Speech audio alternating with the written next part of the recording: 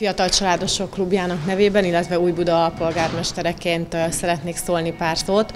Először is köszönetünket és hálánkat szeretnénk kifejezni a magyar családok nevében a több mint száz éves védőnői szolgálatban dolgozó összes védőnőknek, védőnőnek, akik elengedhetetlen részét képezik a családoknak.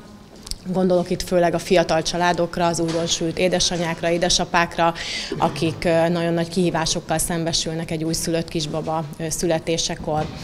Új Buda valóban egy kuriózum, mi mindent megteszünk azért, hogy jól működjön a védőnői szolgálat.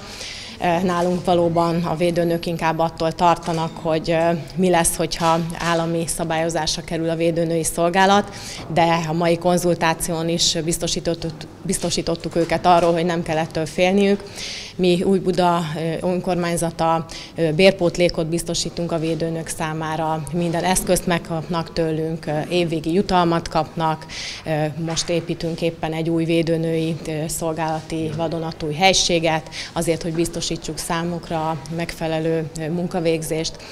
És szeretném még azt elmondani, hogy a magyar családok nevében szeretnénk arra biztatni minden fiatal pályakezdő nőt, hogy válasszák hivatásul a védőnői foglalkozást, hiszen a magyar családoknak nagyon nagy szükségük van a védőnökre.